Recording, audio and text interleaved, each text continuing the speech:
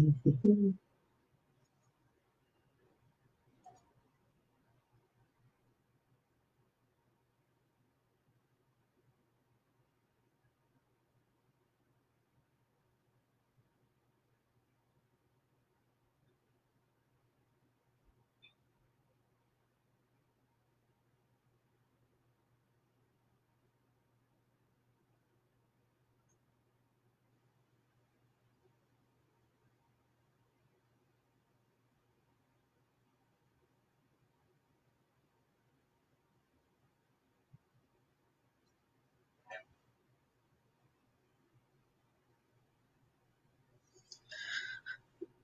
Hello, Megan. Hello, everyone. Uh, I guess I don't know who else has joined us just yet. Uh, so I'll give it probably like another minute or two um, until I start going into a little bit about my background. And then uh, I'll open it up for uh, some questions. Hope everyone's having a good day today.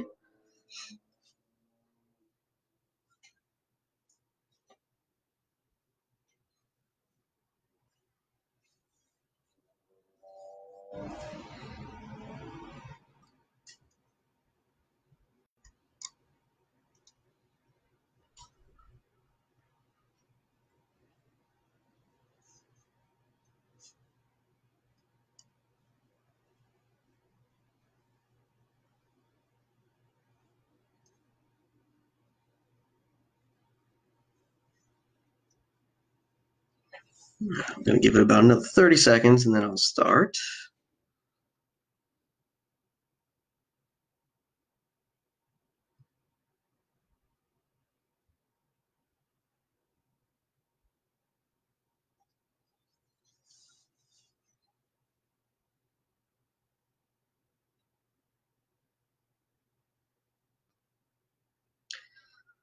Right, everyone. Well, welcome to uh, another Ask Me Anything uh, edition of from uh, Fantasy Playhouse Children's Theater and Academy. Uh, I am Eddie Stalzer. I work at the Walt at Walt Disney World here in Orlando, Florida, and I am currently a entertainment uh, production planner over at Epcot. Specifically, I work at the America Gardens Theater, uh, located in America, which is pretty much right across the big lagoon as soon as you enter in the park.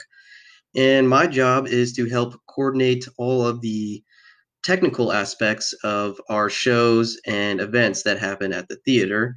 So, most recently, uh, before Walt Disney World uh, furloughed a lot of its employees, uh, we were in the middle of a concert series called the Garden Rocks Concert Series, where we have a bunch of guest bands come in to uh, the America Gardens Theater to put on shows for our guests.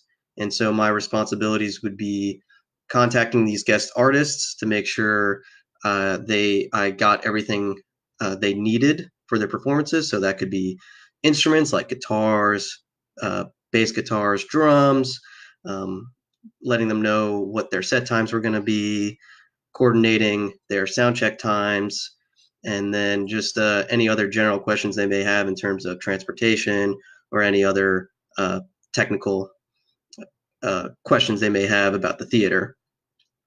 Um, I started my career at Disney uh, as an entertainment technician, and I specialize in audio.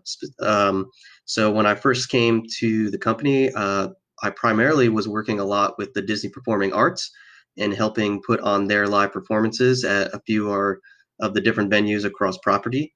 And I got to help work on a lot of different special events and new uh, live shows across the four different theme parks. I got to help open up uh, Jungle Book Alive with Magic back in the summer of 2016. I got to help with uh, Pixar Live, A Symphony of Characters, which was an orchestra show that uh, where the orchestra played all the music from the Pixar movies at Hollywood Studios. And then I've gotten to do uh, press events, uh, filming events, and um, just anything in in there and in, and in, between. So uh, that's a little bit brief background of what I've been doing. Um, do we have any questions to start? If not, I have a couple sample ones that I can kind of go with to kind of just open up the floor a little bit.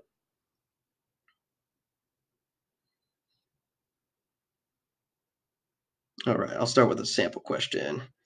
Uh, I'll start with uh, what do you love most about the job? Uh, what I love the most about my job is that it is never the same day in and day out. There are always different challenges to overcome. Um, oh. Perfect. Okay, this is great. Yeah, what challenges uh, come with it being an outdoor venue? Uh, the biggest challenges most of the time is weather, especially in Florida and especially in the summer months. We get tons of storms and we get a lot of lightning. Uh, so when we do have those types of storms, we usually have to um, cancel our shows just due to it not being safe for our guests or performers uh, that uh, to be out on stage during lightning storm. Um, other than that, uh, a lot of it is is just trying to maintain our gear, which in the humidity and the dust and dirt and pollen, uh, our, our, gear takes a big beating, and so we have to maintain it a lot. We have to um, go up in uh, our our grid and the roof to clean a lot of our lighting fixtures, our speakers. Um, we deal with a lot of wildlife like squirrels and mice that like to chew through wires, so we're constantly testing gear and cables just to make sure uh, everything is working day in and day out. So that I would say is probably the most challenging being outside It's just dealing with the weather and dealing with the animals. Okay, Megan Carter, do you have software or apps that you would suggest someone who wants to do what you do learn? Yes, uh, I have some. There's a couple different things. Um, so a lot of uh, specifically what I do is, like I was saying, audio. And a lot of the future of audio is in audio networking, specifically uh, with this one protocol uh, called Dante. And a lot of audio devices use Dante. And uh, if you go, uh, Dante was a, pro- uh, a networking protocol created by Audinate. And if you want, you could go to Audinate's website right now, and they have free certification classes to learn more about their networking protocol, which has become at this point almost a standard across most uh, big venues. Uh, it's very useful in live events, um, in theaters, mean, almost everything, either pieces of equipment or venues use some type of uh, Dante networking. So I'd highly recommend uh, doing that. And I can even, uh, let me just make sure I hit the website and I can put it in the chat real quick. Um, but yeah, they have uh, the Audinate website is great. There's a bunch of um, resources. There's videos, really good videos, and like I said, you can take all their classes online for free right now, which has been uh, a great learning tool for a lot of our uh, technicians across property that have never gotten to use it before. So I definitely would highly recommend if people are interested in doing it um, to take a look at it. And let me just put that link real quick. So that is the link if anyone wants to check out their their classes. Uh, did you go to college for what you you do, or did Disney offer training? Okay, so a little bit. So I went to college uh, at the University of Miami in Miami, Florida, for music engineering, and so I got to do a lot of studio recording, live recording and live sound reinforcement while at college. So I that, that's kind of what I wanted to go into. Uh, after I graduated, I actually stayed at the university and I taught uh, students, college students, how to do live recording and live sounds for all the music schools, concerts, whether it's orchestras, jazz bands, choirs, etc. And then um, I got to Disney about four years ago, and Disney does offer uh, quite a few training resources, and they also um, are pretty flexible uh, when you bring training resources up to leadership. So if there's a lot of there's been a lot of technicians that have been interested in a bunch of different training resources, and the company uh, will pay for them a lot of the times. Um, and then a lot of it was just on the job training. There's a lot of experienced technicians at Disney World that have been doing live entertainment for many many years, and they're just a wealth of knowledge. So uh, I a lot of it. So it was it's kind of half and half. I went to school for it, and then I uh, got a lot of on the job experience as well. Chris, I'm glad you uh, like it. Yeah, it's a great source. Definitely look more into it.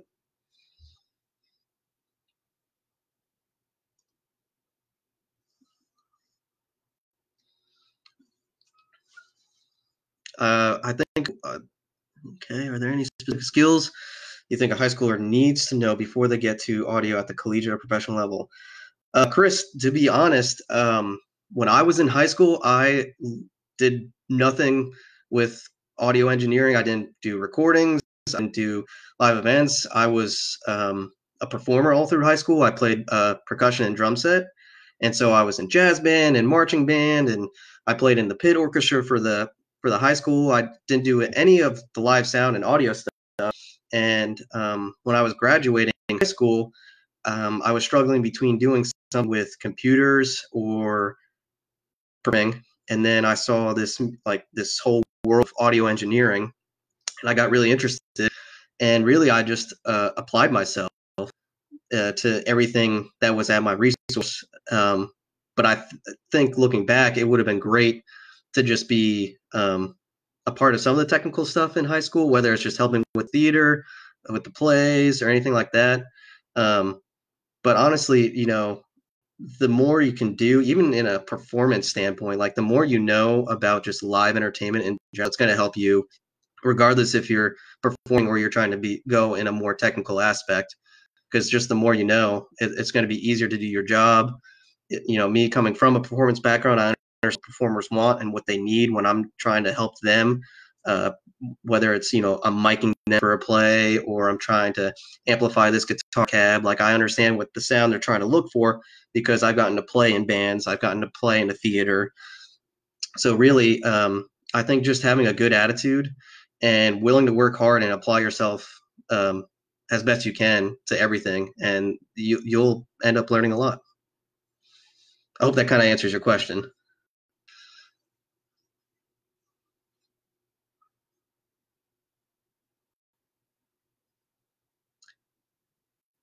The other thing that I may now that the internet is so wide and varied, especially now with all this downtime, uh, you can go on YouTube and you can look up uh, videos from different mix engineers that tour with bands and just like listening to them and um, hearing how they approach problems and stuff is is very interesting and I, I try to do that when I can as well.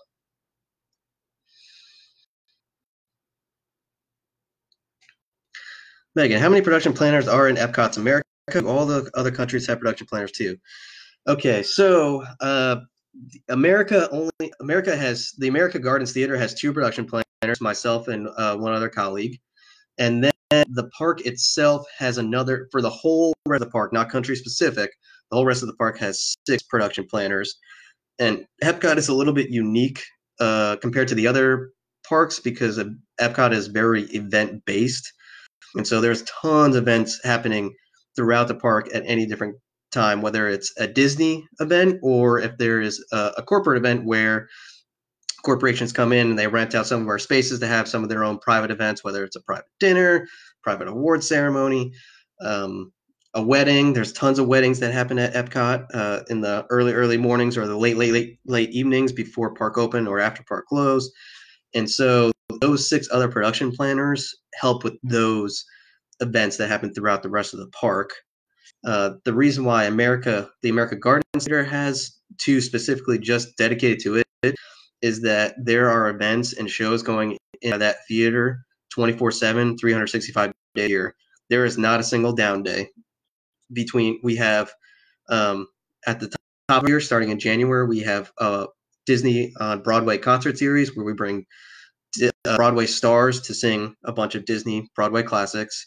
Right after that, we go into the springtime where we have our Garden Rocks concert series where we're bringing in guest bands. So we're bringing in people uh, like the Guess Who, Starship. We've had um, Sugar Ray. Uh, we were supposed to get this year, and we have a bunch of these people that come in, and then and then in the spring or in the summer we have our own Disney show, which is the Guardians of the Galaxy show, where we play. Uh, we have a rock band that plays the songs to those from those movies in the fall we have another concert series and then in the winter we have our christmas show there. So there's not a lot of downtime. The hours do vary quite a bit um, especially especially uh, in between the shows when we are uh, tearing down breaking one show and we're setting up for another. Uh, usually we have two different crews. We'll have a daytime crew and a nighttime crew. And so we'll have someone, we'll have a crew of about four to six working nine to five, and then we'll have another four to six uh, techs working from usually like four to to midnight. So uh, those those hours can vary, and then um, once we get into a series or a show, it's a little bit more stable. Um, but in general, any type of events, it can vary just depending on what happens, and things change all the time. But it does keep things very interesting because uh, you never know what's going to happen. Do I have a favorite event gone sideways story? Uh, yes, I think I do. Um, one events I got to work on uh, this past year is the uh, Disney Fairy Tale Wedding series, um, and we were shooting this Fairy Tale Wedding in the uh, uh, pavilion in Epcot, and uh, so I'm here to help with kind of just a live uh, audio reinforcement for the wedding for the people that were actually there to, you know, the family and everything else. I wasn't really dealing too much with the film aspect of it, just to make sure that uh, family could hear the, you know, the the pastor and the bride and the groom and all that. And at the end, they had a special guest artist come up to sing one of their favorite songs. And right before that happens, we start start having a lot of uh, wireless mic issues, and I had to leave to leave the booth in a dead sprint, run all around the country, so I wasn't in the camera shot. Get to her mic, crouch behind a little bush, fix it, and then run all the way back around before she she went up, and then realized that our antenna were also not in a good spot, and so I actually had to physically hold up the antenna and I became the the wireless antenna for that mic and I had to stand in one position for about 45 minutes and my shoulders had never been sore since then. But it still went off without a hook, but that could have gone sideways pretty quickly.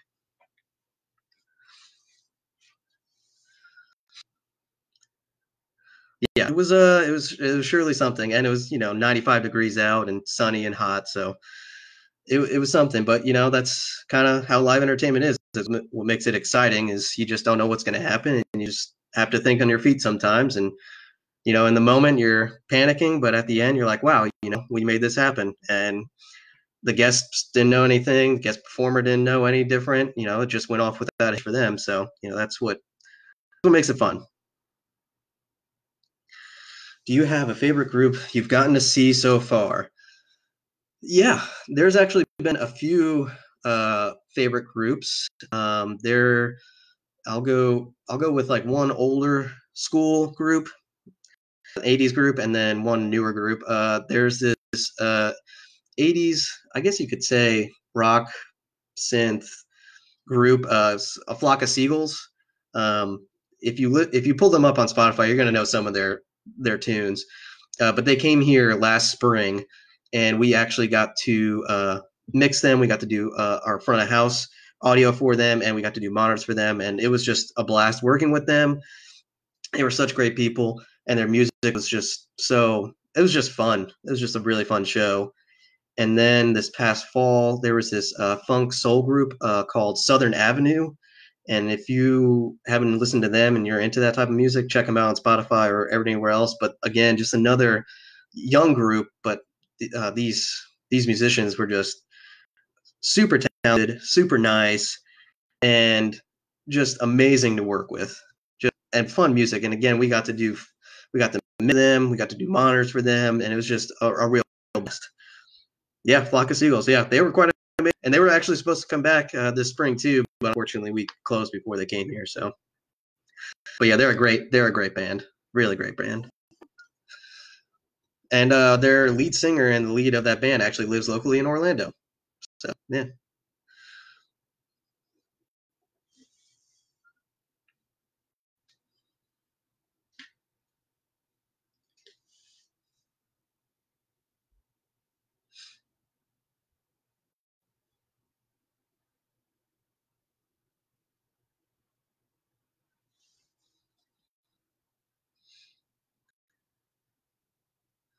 do you ever have to do design work or is it mostly facilitation slash execution?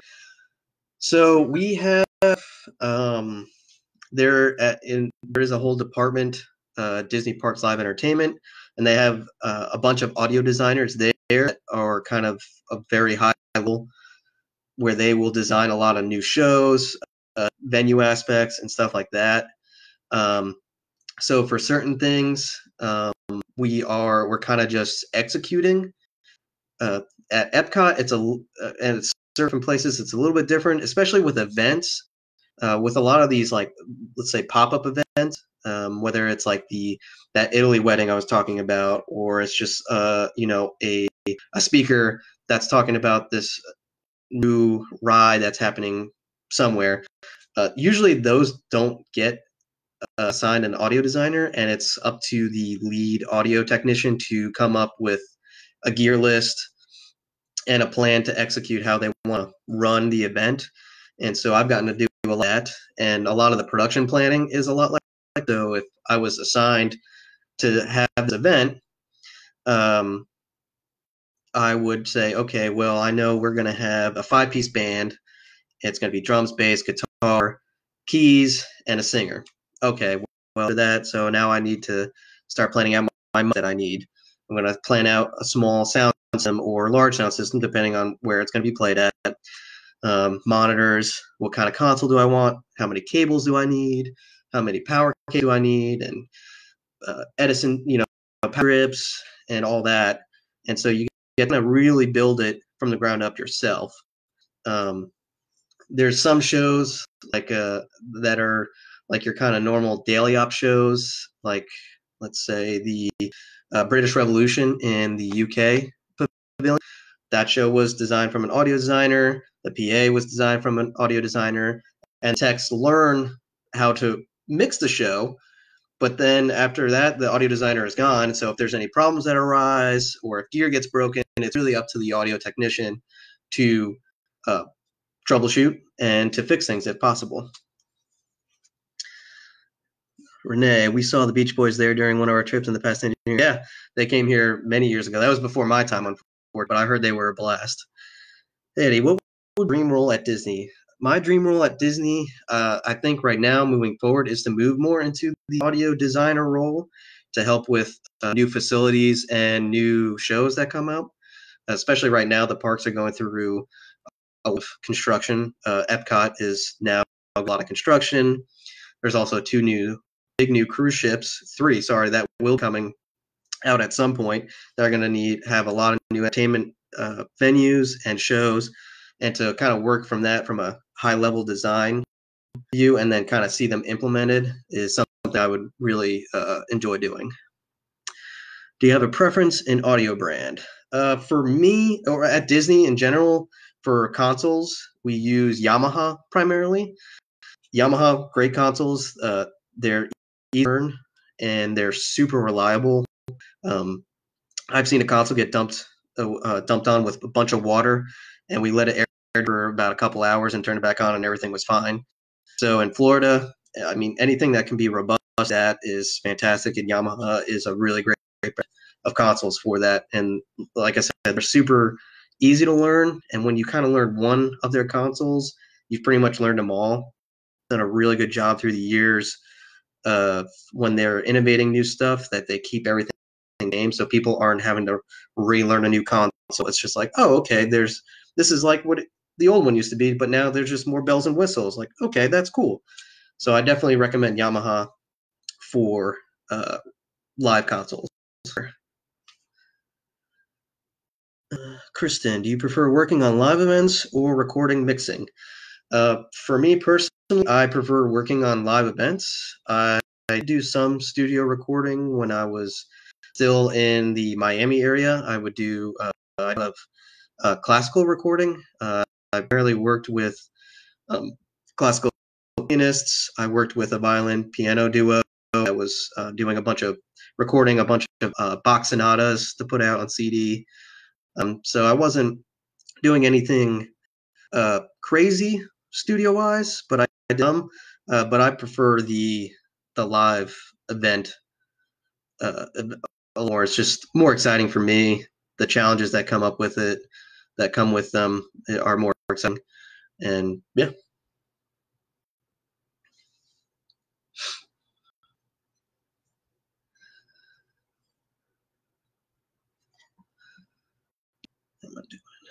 Okay. You got any any other questions?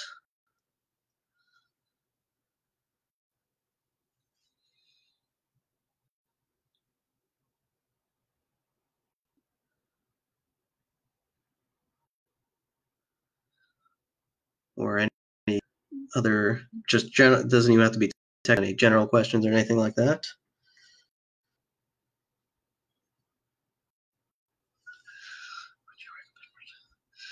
Chris Carter, what colleges would you recommend for students wanting to go into audio?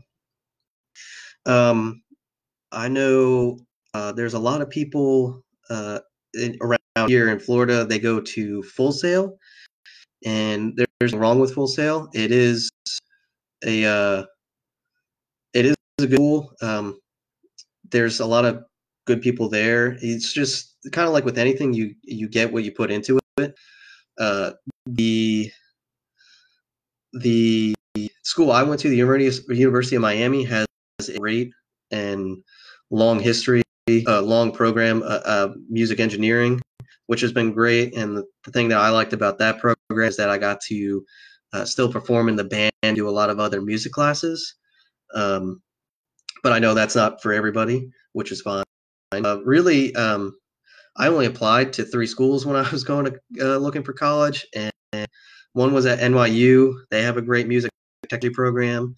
Uh, the other was the University of Miami, where I eventually went to, and the other one was Penn State. And um, so the University of Miami for me was just a great program, good good uh, faculty, and I like the location. But really, uh, I just do your research. There's plenty of school, a lot more schools now. Even when I went to college, uh, 11 years ago now when I first started. There's tons of programs now that are starting these audio engineering um, programs because it's become a, a big thing, and or or a technical theater is another program that a lot of schools have. And, with anything like that, I, I say just do everything and anything because even if you end up not liking it, at least that's something you can cross off your list saying, okay, I'm not going to do that again, but I've tried it and the experience is always going to help. So whether it's any, type of live or or studio recording stuff, you know, I think the more things you can do and by yourself, the better for sure. Uh, yeah, you're welcome, Chris. I'm glad. Uh, I'm glad to be here. I'm, I'm glad I was able to hopefully share some some interest, uh, some good thoughts. Megan, favorite place to eat at Disney? For me, it is the uh, Germany, the uh, the beer garden, which is an all all you can eat uh, German buffet with a live band entertaining you the whole time eating. It's a lot of food, a lot of fun. Uh, it's family style, so you usually get um, paired up with another family, sitting all at the same table, and you just get to become one huge family and get to make some new friends while eating some really, really good food. That's my my favorite place to go for sure.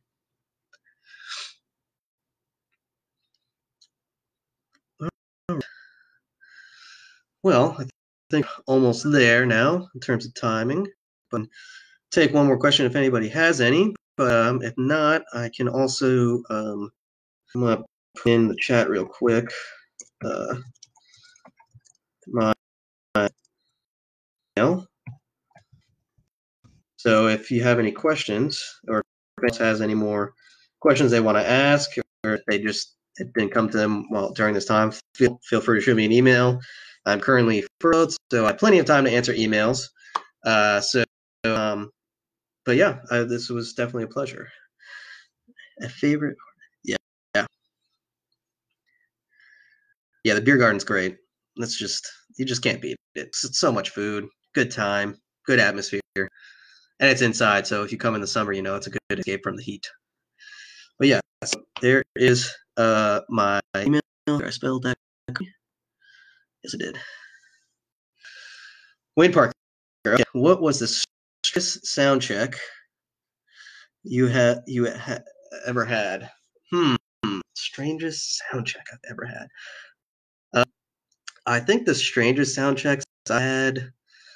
Let's see. I think one of the ones is probably Kenny G. He's just a very, very unique person, and his sound uh, started at 11 p.m. and it went till about 3:30 in the morning. And uh, we couldn't stop until he was happy. And it's surprisingly hard to make him and his team happy. But uh, still Joe, if you like Kenny G. But that was probably one of the more interesting long sound checks I have I had for sure. Another one on a, a little bit cra- kind of cooler note was uh, Joey Fatone of N of NSYNC. He brought a bunch of his friends here in the fall to perform just a bunch of songs, and um, well, we really didn't do a sound check with them, and it was all kind of done on the fly as he was performing. Uh, but they were all great people, and they were. It actually worked out really, really well. So sometimes you get super, super long sound checks like a Kenny G, or sometimes you get a Joey Fatone, and sometimes uh, you're just kind of doing it live and hoping up for the best, for sure. Sweet. All right. Well, with that, uh, I think I'm going to log off. Like I, I up in the chat, I did put in my email address, or I'm sure you can also get with Megan, and she can give you my email as well. But if anyone has any further questions, like I said, I have plenty of time to answer them. Um, I do want to, I do want to thank uh, the Playhouse Children's Theater and Academy for bringing me on to do this. And um, please, please, please support them in any way you can, uh, whether it's donations or when we get back up and running, uh, donate your time. You know, work at the concession, uh, an usher, wherever you can. Um, the arts are definitely going to need need the help when we get up and running, and uh, I think we've all seen how important they are during this time. So, like I said, thank you, Playhouse Children's Theater and Academy, and I hope you all. Thank you.